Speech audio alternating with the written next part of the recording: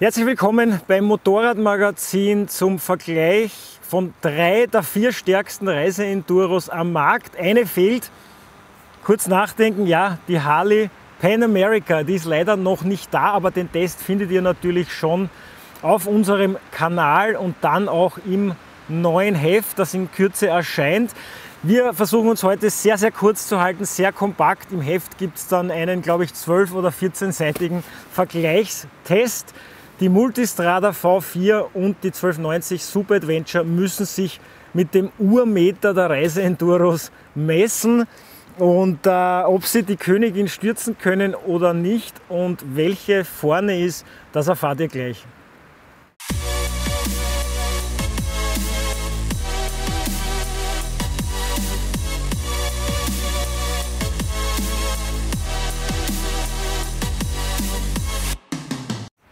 Willkommen zurück. Der Platzhirsch muss sich heute dem Vergleich stellen. Angetrieben vom 1254 Kubik großen Boxermotor, 136 PS, 143 Newtonmeter Drehmoment. Das Ganze trifft auf 249 Kilo vollgetankt, Sitzhöhe 850 bzw. 870 mm. Ihr seht, ich bin 1,80. Der Sitz ist jetzt unten und ich habe einen sehr guten, sicheren Stand, niedrigen Schwerpunkt. Zwei Besonderheiten der GS. Sie hat das höchste Drehmoment aller Reiseenduros und das merkt man auch. Und das zweite, sie hat überraschenderweise den niedrigsten Einstiegspreis.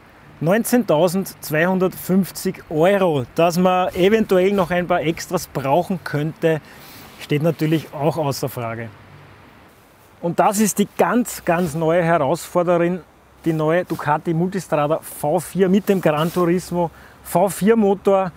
Der hat einen Hubraum von 1158 Kubik und leistet 170 PS, maximales Drehmoment 125 Newtonmeter, das Ganze bei einem Gewicht von 244 Kilo vollgetankt. Sitzhöhe 840 bzw. 860.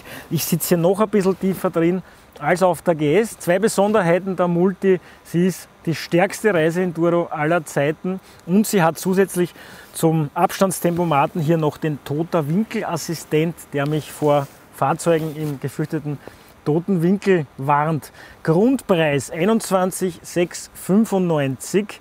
Aber dabei bleibt es leider nicht. Unsere Version, so wie sie hier steht, kostet sogar über 29.000 Euro, unter anderem mit dem elektronischen Fahrwerk. Die einzige Reiseenduro, die ready to race ist, zumindest wenn es nach Mattighofen geht.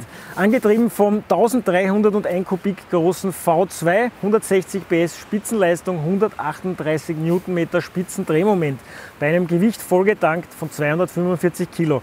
Sitzhöhe 200, äh, 849 natürlich, beziehungsweise 869. Der Sitz ist jetzt unten ich tue mir trotzdem ein bisschen schwerer, weil sie einfach hier breiter baut, einen breiteren Sitz hat. Dadurch wird der Schrittbogen länger. Zwei Besonderheiten, sie hat serienmäßig schon den Abstandstempomaten verbaut und beim ebenfalls serienmäßigen elektronischen Fahrwerk gibt es eine Anti-Dive-Funktion, die nicht jeder mag. Das muss man dann für sich erfahren, dass vorn die Gabel einfach steif bleibt beim harten Anbremsen. Preis 21.349 Euro.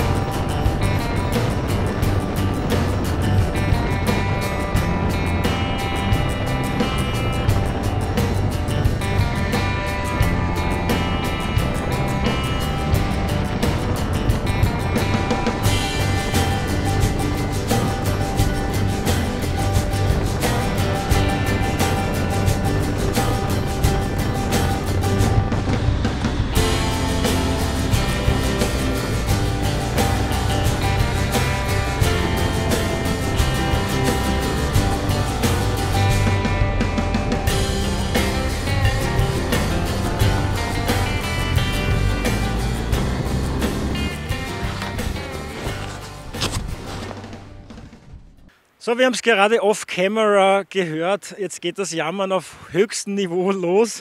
Äh, das beginnt bei den Motoren, bei den Antrieben, die alle sensationell sind. Trotzdem gibt es natürlich Unterschiede in den Präferenzen und da beginnen wir beim sportlichst ausgerichteten Motorradmagazin-Redakteur, beim Clemo. Ähm, Was sagt dir am meisten zu dieser drei Reaktoren?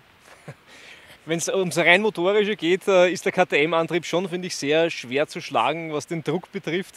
Ähm, wenn ich jetzt quasi mir die Landstraße als Supermotostrecke vorstelle, dann möchte ich am liebsten mit der KTM unterwegs sein. Das ist sie allerdings selten, die Landstraße. Aus diesem Grunde ähm, ist halt dann doch ein sehr guter Kompromiss die Ducati, die ein bisschen feinere Manieren für mich an den Tag legt, die halt äh, weniger anstrengend zu fahren ist auf lange Distanzen. Aber leider muss man auch sagen, dass auch der äh, BMW-Motor seine ähm, weg, nicht wegzudiskutierbaren Vorteile hat, nämlich dass es im Gelände einfach der Antrieb ist, der am meisten Drehmoment zur Verfügung stellt, wo ich am wenigsten schalten muss.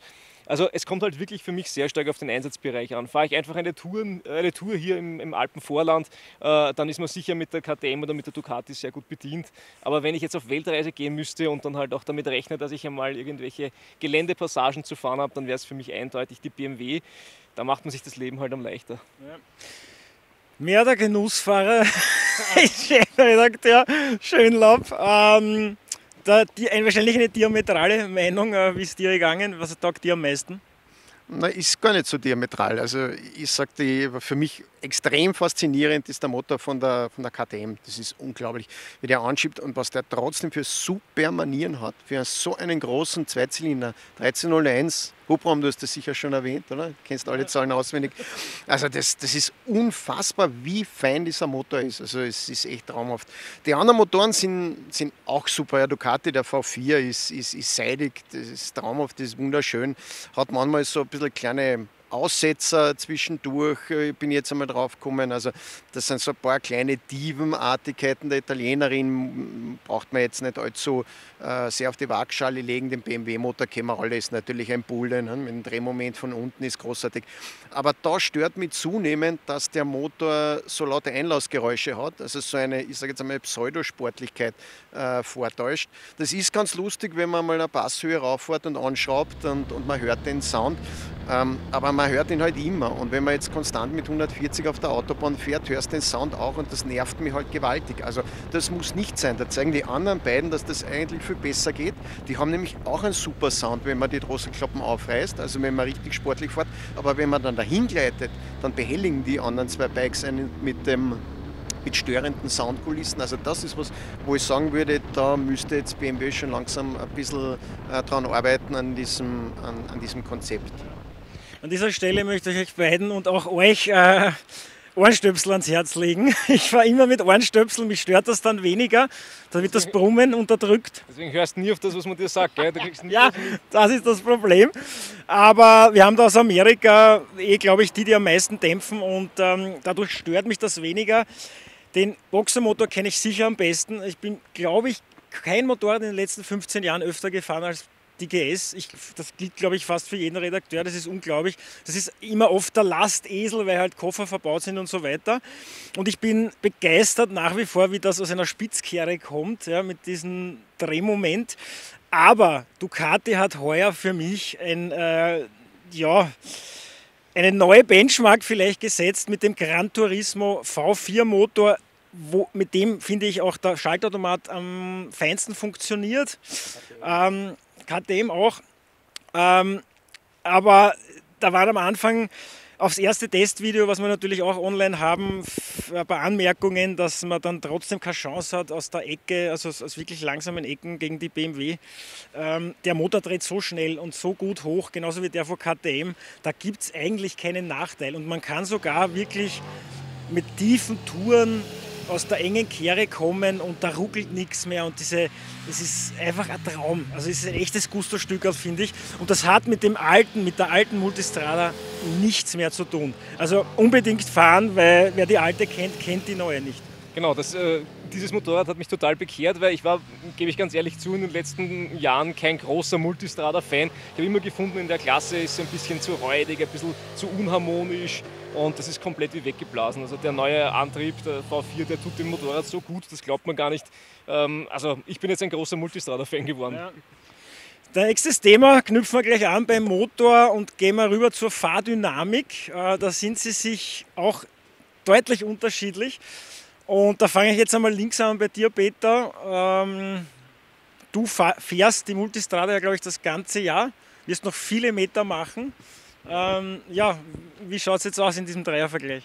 Also in puncto Fahrdynamik ist absolut die Multistrada mein Liebling. Also wir reden jetzt da wirklich, muss man nur mal sagen, das ist jetzt kein Schmäh, extrem hohes Niveau.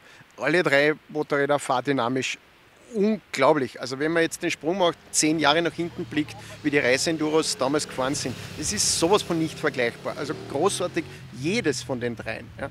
Aber was mir halt ähm, extrem gut gefällt in puncto Fahrdynamik ist, äh, wie, wie leichtfüßig die Multistrada ist und wie neutral sie einlenkt. Also das ist so schön zu fahren, so schön zu dirigieren, ganz präzise für mich und dabei vergleichsweise mühelos. Ja. Also das ist ja trotzdem immer noch ein großes immer noch schweres Motorrad. Und wie schön das, das fährt, wie mühelos und trotzdem hat aber auch den Fahrkomfort dabei. Also das ist wirklich fantastisch. Also wie gesagt, fahrdynamisch sind alle drei Hammer, aber die Multistrada für mich ist dann noch das Alzel, Alzel mehr.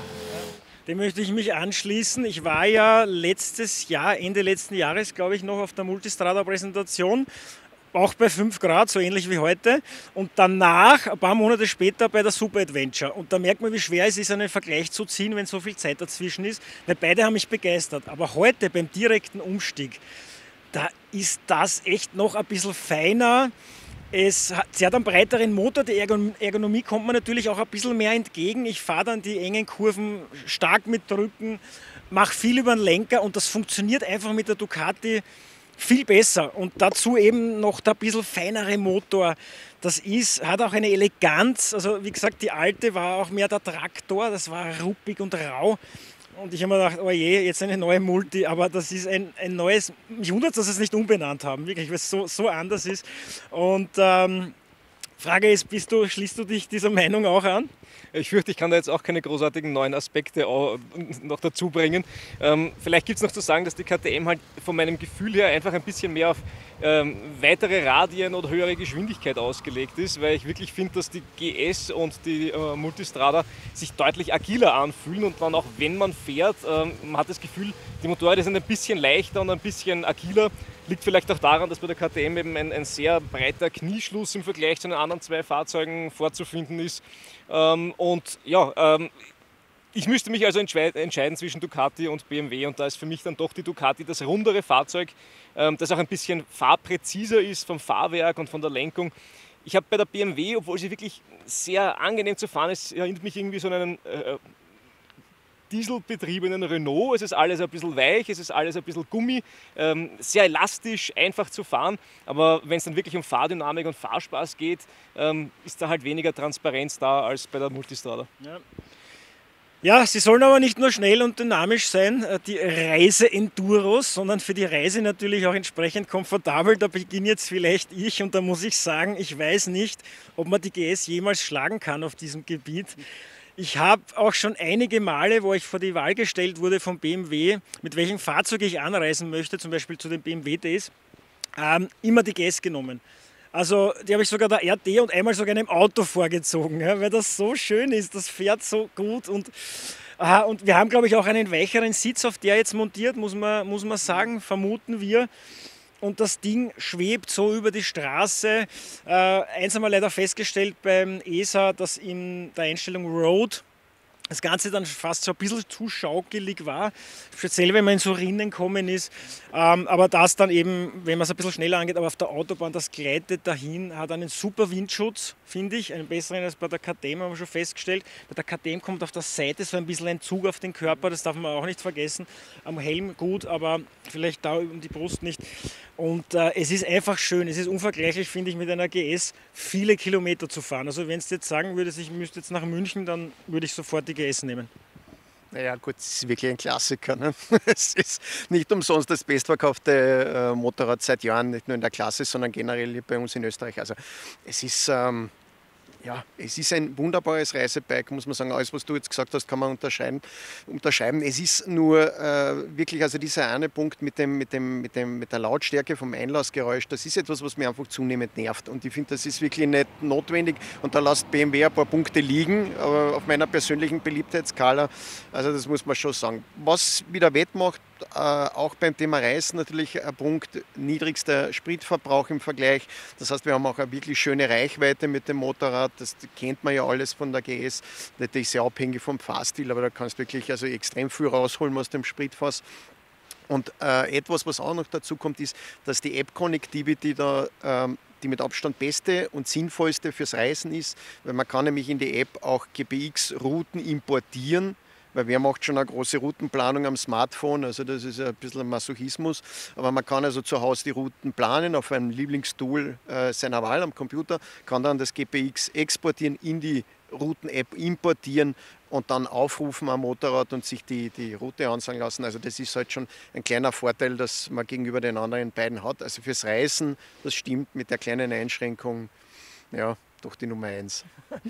Clemo, du hast normalerweise äh, Naked Bikes mit 150 PS Plus in der Garage, aber hast vorher auch schon angemerkt, der Komfort ist da, wird auch ein bisschen wichtiger, bei der ZH2 zum Beispiel. Äh, welche der drei hat jetzt den meisten Komfort für dich geboten? Also am besten sitzen und die äh, größte Bequemlichkeit auf langen Strecken hätte ich auf der Ducati Multistrada. Die hat für mich da die GS schon ein bisschen überholt, ähm, eben auch weil der Motor halt einfach ähm, ein bisschen feiner ist, eben wie der Peter schon gesagt hat, nicht so laut dröhnt. Da fühle ich mich einfach auf der Ducati auf langem äh, langweiligen Dahingerolle auf jeden Fall wohler. Äh, was man allerdings nicht von der Hand weisen kann, ist diese App-Connectivity. Das finde ich extrem praktisch bei der BMW, dass man da einen GPX-File importieren kann. Und ähm, was für mich persönlich ein bisschen eine Schwäche an der Ducati ist, ist die nicht ganz intuitive Menüführung. Äh, also ich bin kein großer Freund vom Cockpit-Instrument. Äh, da muss man sich wirklich damit auseinandersetzen, muss es auswendig lernen. Und das funktioniert zwar bestimmt, aber trotzdem denke ich mal, man könnte es ja einfach einfacher machen, dann würde es jeder auf Anhieb verstehen. Ja. Es gibt dann noch ein paar kleine Kritikpunkte, die wir gefunden haben im Umgang. Das werdet ihr aber alles im Heft lesen. Das verraten wir euch jetzt natürlich noch nicht. Äh, was die Bedienung auch angeht und diese kleinen Fächer, die hier teilweise drauf sind. Aber wie gesagt, alles können wir im Video nicht verraten. Vielleicht zum Abschluss noch ganz kurz, ähm, dass jeder seine Favoritin kürt. Auch hier fange ich an. Und ich würde sagen, was die Transparenz äh, betrifft, ist die KTM immer noch vorne. Beim Auto spricht man von einem Drivers Car zum Beispiel, ja, also ein Lotus Elise oder so. Und da das äh, Riders Bike ist für mich immer noch die KTM. Das komfortabelste, wie gesagt, die BMW, mit der würde ich auch 1000 Kilometer am Stück fahren. Aber für mich echt die neue Benchmark ist die Ducati. Das ist insgesamt ein so, so geiles Bike. Ähm, und das als Reise-Enduro, ja, so scharf und leider auch äh, sehr teuer. Ähm, das ist für mich die neue Nummer 1. Ähm, bei dir? Weil für mich das Thema Reise wirklich mit Offroad verbunden ist, weil wenn ich eine große Reise nach Spanien oder Frankreich mache, dann möchte ich auch die Feldwege und Schotterstraßen nicht auslassen. Und aus dem Grund schweren Herzens, obwohl mich die Ducati wirklich sehr beeindruckt und die KTM sehr viel Spaß macht, würde ich mich für die GS entscheiden, weil halt einfach hier der niedrige Schwerpunkt durch den Boxermotor nach wie vor unschlagbar ist. Das große Drehmoment im Gelände, da legst du den dritten Gang ein, fährst jede Schotterstraße wie auf dem Automatikmodus hinauf, äh, hast immer das Gefühl, auch wenn es einmal ein, ein, ein Stück gibt, wo du ein bisschen balancieren musst, dass du ein leichtes Motorrad hast, obwohl alle wirklich in meinen Augen sehr schwer sind. Also umfallen sollte sie einem im Gelände vielleicht auch nicht. Auch da wäre allerdings dann die BMW vorzuziehen, weil halt der Boxer ein bisschen hilft, dadurch, dass das Motorrad nicht komplett umfällt, sondern man kann es dann leichter vom Boxer wieder hochhieven. Also Reisewertung GS. So, jetzt bist du noch dran, Peter. Also ich muss sagen, es wäre wirklich jetzt das allererste Mal, dass ein Super Adventure wirklich für mich äh, ein Reisebike und wirklich auch ein Wunschreisebike wäre, weil die, die Verbesserungen sind so enorm, also vor allem im Fahrkomfort, aber auch vom Motor her, es ist wirklich, ist wirklich grandios. Aber die Konkurrenz, es ist hart, es ist, ist wirklich, ähm, ihr seht es, es ist wirklich super, super tolle Bikes. Ähm, ich tendiere eigentlich zum Multistrada, muss sagen, also für mich hat die Multistrada jetzt eigentlich auch die GS abgelöst. Äh, es gibt zwei Punkte, die mich wirklich an der Multistrada sehr stören. Das eine ist der Preis, also es ist halt wirklich sauteuer, muss man sagen. Ähm, der zweite Punkt ist der hohe Verbrauch. Das ist absolut nicht mehr zeitgemäß. Also das ist wirklich, ähm, man hat die gleichen, so wie wir fahren, die gleichen Fahrleistungen, aber man verbraucht ja, um die zwei Liter mehr. Also das ist dann schon, schon heftig. Das stört mich, da würde ich mir wünschen, dass das verbessert wird. Ansonsten wäre ich ja, fast wunschlos glücklich mit der, ja. mit der Multistrada. Und die GS ist halt der Klassiker, da kann man nichts falsch machen. Also das ist halt wirklich schwierig. Ja. Ganz schwierig. Äh, du wärst nicht nur wunschlos glücklich, sondern du bist es, weil du kannst jetzt die ganze Saison fahren. Und über die Multi werde ich noch sehr viel lesen. Und da ist es ganz wichtig, das Heft zu kaufen, weil dann zum Beispiel auch das ähm, Dauertestabschluss, Resümee erst nächstes Jahr kommt, also sehr spät als Video.